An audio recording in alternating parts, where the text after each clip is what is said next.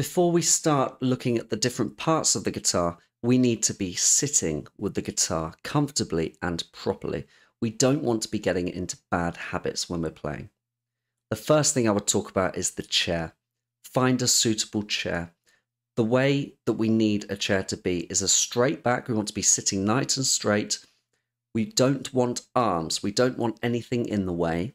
And the ideal height, the perfect height for a chair, is going to be so that your feet are flat on the floor and you can put the guitar on your leg.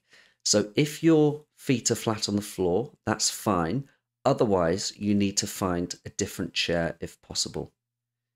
If you're too small for the chair you're sat in, what you can do is you can use a footrest. Or in fact, you could use a footrest if you wanted to bring up the leg with the guitar.